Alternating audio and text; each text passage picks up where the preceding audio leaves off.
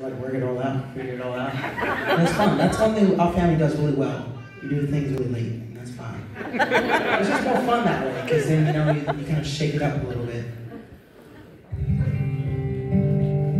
But I thought, you know, since we're here at church, it'd be fun to give the Lord some praise here before I jump into my set. You all right with that?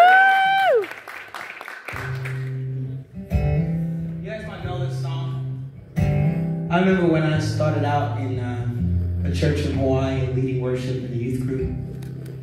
Um, it started with my youth pastor. He figured out my youth worship pastor. He figured out sang. And he was like, "Oh, you should you should start leading worship here."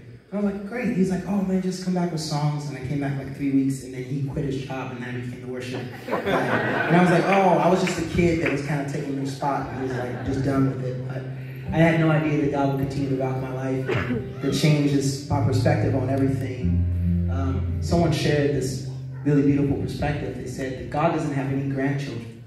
And I was like, what do you mean by that? It was like, well, you can't get into heaven off of the relationship your parents have with God. You got to know who He is for yourself. And um,